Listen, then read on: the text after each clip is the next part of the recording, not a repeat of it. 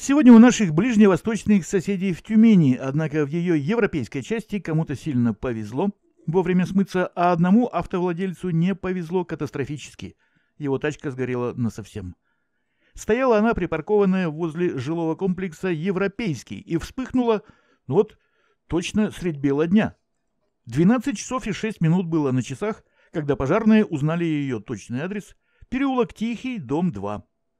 Тишина его время от времени нарушалась мини-взрывами, пока соседи разбирали свои тачки, оказавшиеся почти под огнем. Кое-кто успевал прямо в последний момент.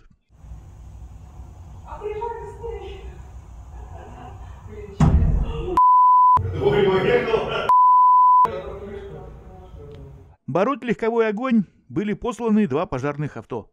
Девять бойцов, на них примчавшихся, потушили евродымовушку за считанные минуты. Жертв и пострадавших нет.